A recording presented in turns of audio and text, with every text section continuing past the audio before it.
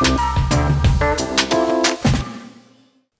Makavaju Blanka táncos koreográfus oktató célja, hogy minél több emberrel megismertesse a táncszínház fogalmát, ezért hozta létre a Navarra Dance Táncegyesületet, mely már öt éve működésének köszönhetően, hogy igen nagy létszámú közösség otthona lett.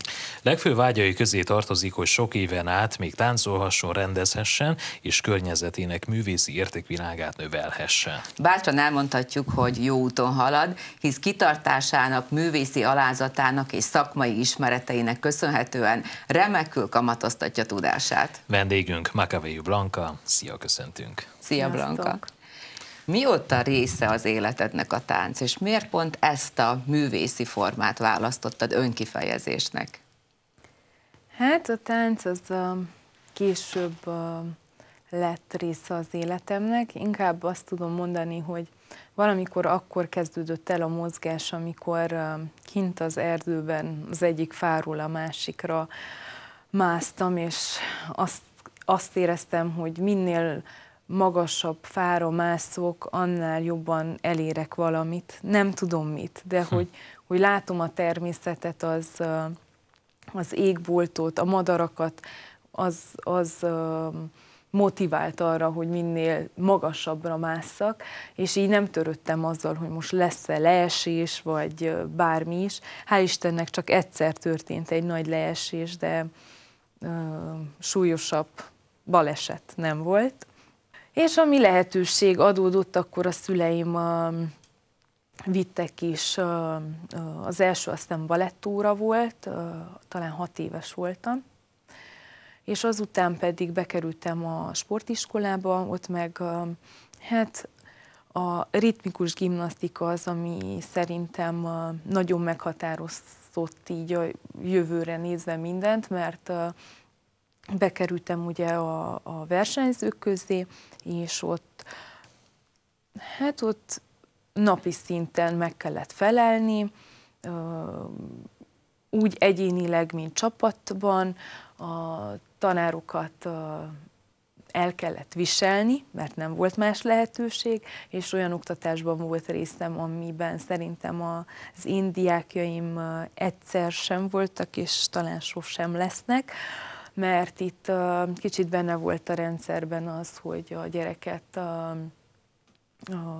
bántalmazzuk, vagy hogy rossz szavakat dobáljunk utánuk, de egyrészt ezek a dolgok megerősítettek, és megmutatták azt az oldalt, amivel, hogyha szeretnék majd oktatni, akkor ezeket mindenképp hanyagoljam. és uh, későbbiekben meg Hát volt egy ilyen hosszabb periódus, a, a, inkább az ilyen liceumi évek, hogy keresgéltem, hogy hol tudom visszakapni azt a rendszert, azt a kemény rendszert, amiben voltam, míg versenyeztem, de igazából már nem találtam itt meg sehol sem Marosvásárhelyen. Ekkor volt az, hogy kipróbáltam a hip-hopot, a breakdance-et, a sízést, mondjuk sízni gyerekkorom óta sízek, de mm, sporttánc, mindent, kivéve sajnos a néptáncot, de azt tudom, hogy egyszer eljön az életembe a néptánc is, és, és meg fogom tanulni. És akkor a nagy keresgélésben egyszer csak hallottam a, a Marosvásárhelyi Művészeti Egyetemről, hogy van koreográfia szak, és azt mondtam, hogy talán itt lesz az esélye, hogy azt, amit eddig tanultam, azt tovább képezzem magamban. És ugye 2014-től a megszűnéséig az András a tagja voltál, ahol többek között megrendezted, megkoreografáltad a Farida című kortárs táncerőadást, ami amúgy zseniális volt, nekem egy meghatározó élmény volt mindenképp. Mesélj egy kicsit erről a próba folyamatról, milyen tapasztalat volt ez neked? Egy nagyon jó próba folyamat volt, mert úgy kezdtük az egészet, hogy négy napig dolgoztunk Kozma Viktorral, Kozival, és ő a Suzuki tréningjével segített minket úgy összekovácsolni, és hát, hogy másképp használjuk a testünket. Úgyhogy egy nagyon-nagyon jó hangulat keletkezett, és mindig mondtam, hogy ne felejtsük el, hogy honnan indul ez az egész, milyennek a gyökere, hogy igazából mit kell hozzunk, és mit kell átadjunk a, a közönségnek, hogy, hogy, hogy hiteles legyen. Hogyha eljönne egyszer Faridas megnézni, hogy, hogy milyen érzést tudnánk belőle kiváltani. És ugye körülbelül öt éve hozta létre a Navarra Dance kortás táncstúdiót, amelyben ugye három évesektől egészen 20 évesekig formálsz táncosokat. Um, csodálatos kezdeményezés. Milyen megfontolásból született meg benned uh, ez, és milyen célokat követsz ebben a, ezen a körön belül? Sokszor gondolkozok, hogy ennek a folyamatnak én voltam az indítója, vagy az emberek. De valamiféleképpen én kellett legyek, mert bennem látták azt a motivációt és a lelkesedést. Nem tudom, mi a cél, mert nem szeretném versenyre vinni őket, viszont azt tudom, hogy uh, szeretnék uh, nagyon nagy előadásokat csinálni velük. Mert hogy a versenyekben nem tudom megtalálni azt a azt a magot, amiből építettem a faridát, mert ahhoz, hogy egy faridát megcsinálj, ahhoz azt nem tudod egy egy-két perces táncba belefoglalni. Úgyhogy ezeken a versenyeken a látvány, a kosztüm, ahogy van megcsinálva a haj, a nem tudom mi, ezek a fontosak. De nekem, nekem ennél mélyebb dolgokra van szükségem, amiket én is még kutatok, de hogy azt érzem, hogy, hogy ha tartok ahhoz, ami az én vágyom, és azok az emberek, akik körülöttem vannak, türelmesek, akkor közösen egy olyan új dolgot tudunk ide Marosvásárhelyre teremteni, ami, ami a jövőre nézve szerintem rengeteg embernek jót fog hozni az életébe. A tánclépéseken, koreográfián kívül mi az a plusz, amit ad nekünk a tánc? Mire tanít meg? A csapatmunka, csinálok velük ilyen feladatokat, hogy van, amikor rájuk bízom, és vannak dolgok, amiket nagyon szépen megoldanak. Például volt egy olyan rész, hogy hosszú a terem, és beraktam a laptopot, hogy arról tanuljanak meg egy koreográfiát. És nem mondtam abszolút semmit. És eltelt öt perc, azt mondták, jó, ezek ilyen 9, 10, 11, 12 évesek. És azt mondták, hogy jó, most akkor csináljuk azt, hogy aki hátul volt, jöjjön előre. Tehát amikor ők már ezeket fel tudják fedezni, mikor már ők kezdnek így dolgozni, akkor azt mondom, hogy igen, a munkámnak eredménye van.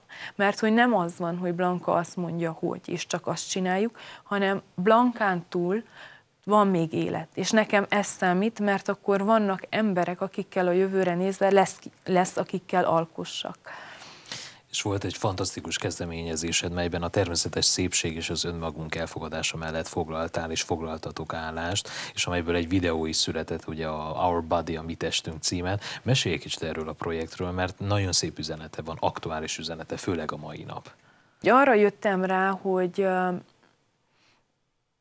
ők, ők, hát most arra értem ők, hogy a, a, a diákok, látom, hogy megfelelnek bizonyos uh, sztároknak, amit ugyanúgy mi is megcsináltunk, ugyanúgy a szüleink is megcsináltak, uh, és ugyanúgy öltöznek, és uh, ha valaki nem úgy öltözik, akkor az, az ki van rakva a csoportból, persze nem részemről, hanem ők a kis klikkesedésekből, és láttam, ahogy megszólják egymást, hogy hát minek, minek rakom őt előre, mert ő kövér, vagy minek uh, engedek olyans valakit a csoportba, aki uh, húsosabb, akkor ő túl sovány, ő sovány, de nem annyira hajlékony, ő kövér, de nagyon hajlékony, és néztem, hogy egy adott pillanatban, hogy ez túl sok. Ettől vagyunk ö, szépek, csodásak, hogy különbözünk. Azt mondják, hogy a gyerekeknek nincs véleményük, hogy mindig a felnőtt mondja meg a tutit. Nem. Rengeteg csodálatos dolog van bennük, és szerintem ez a, a videóban halla, tehát hogy mindenki meghallja, amiket mondanak, és ahogy ahogy elfogadják egymást. És valahogy meg kell kapja az ember életében azt, hogy igen, van az, amikor teljesen ö, smink nélkül csodálatos vagyok, és van az, amikor igen, szükségem van a sminkre. És valahogy ezt a kettőt úgy, úgy egyensúlyba tartani. Tehát nem lehetek mindig az, hogy jaj, én nem festem magam, nem rendezem, meghagyhattuk mindent magamon, mert a jó Isten így adta. Nem. Van, amikor kell önmagunkat ápoljuk, rendezzük, simogassuk, kényeztessük, a bőrünk kap, kapjon egy frissességet, és van a másik, amikor igen, most úgy érzem, hogy határozottabb vagyok, és most igen, eljövök ide a műsorba, és most ki fogom sminkelni magam, és most rakok rímelt, és most rakok magamra rust. Ez, ez a kettő, ez, ez a külső. Na most ezt, ennek a harmónia, tehát a harmóniát kell önmagadban megkapt, hogy ezt a kettőt tud mérlegelni, hogy mikor, miből adok többet, mikor miből adok kevesebbet. Nem szabad túlzásokba se esni. Úgyhogy igazából e, ez kicsit olyan, hogy van fény, és van sötétség. És ha nincs sötétség, akkor nincs fény. Úgyhogy ez, ez ugyanolyan. Az a lényeg, hogy mind a kettőt jól tudjuk viselni. Igen, pontosan. Blanka, milyen tervek elé nézel még? Um, nagyon sok tervem van, de az idén uh, visszafogom magam, és uh, úgy gondolom, hogy uh, kis léptekkel uh, az elmúlt években eltervezett dolgokat uh, megpróbálom uh, kivitelezni, olyan szinten, hogy minél több emberhez eljusson. Uh, ez lehet táncelőadás, ami biztos, hogy az lesz. Körülbelül három táncelőadás készülget. Van egy, amelyik lapon van, van egy, amelyik félig megvan, van egy, ami most januárban valószínűleg be fogjuk fejezni. És hát van ugye a Navara Dance, ami ugye a gyerekeknek egy olyan program, ahol táncolhatnak, ahol tanulhatnak, és úgy döntöttem, hogy ahhoz, hogy magasabb szinten dolgozzak, létrehoztam egy, hát majd lehet úgy fogom nevezni, hogy társulat, ez majd kiderül, a Transylvania Contemporary Dance, és ez arról fog szólni, hogy táncelőadásokat fogok létrehozni, és amennyiben erőm megengedi, akkor ennek adok egy ilyen vonatra teszem, és akkor elindulunk több, több helységbe. Meglátom, mit hoz igazából így, így a, hogy a Jóisten velem tart, akkor ezek mind meg fognak valósulni, és akkor lehet, hogy én is megkapom azt a lelki békét, amire szükségem van.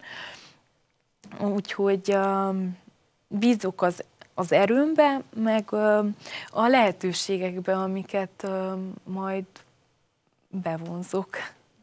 És hogyan ünnepelt a Navarra Dance Studio? Most csak a tánc volt.